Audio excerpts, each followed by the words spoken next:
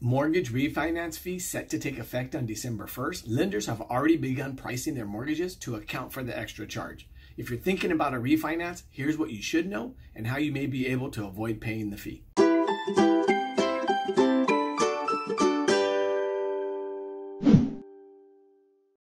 Hi, my name is Billy Bryson with Bryson Team at Real Estate and Home Loans. And if you're new to my channel, please make sure to subscribe, like this video, and leave a comment below.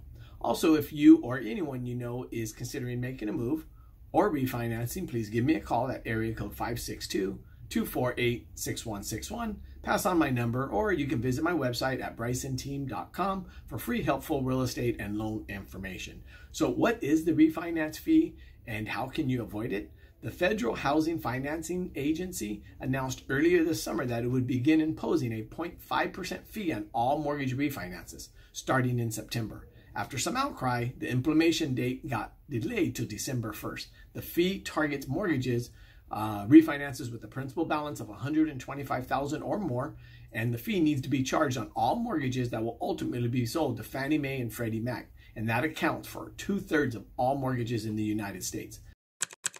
The lenders must pay this when they sell their loans to these agencies. The two most common ways for the fee to be passed on to the borrower are increased closing costs or a slightly higher mortgage interest rate. On a $300,000 loan, the fee represents an extra $1,500 for the loan.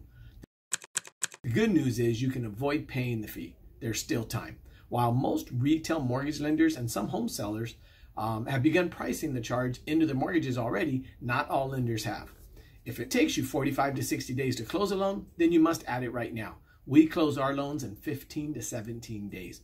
So the best way to avoid paying the fee is to work with a mortgage broker like myself, who can help first help you find lenders and banks who are not charging it already and also act quickly. That's the best move if you want to avoid the fee. The bottom line is, is mortgage refinance fee is coming December 1st. So if you really want to avoid it, you should act quickly to get your refinance application in and work with the mortgage broker who can connect you with the lender who hasn't already started pricing this into the fee yet.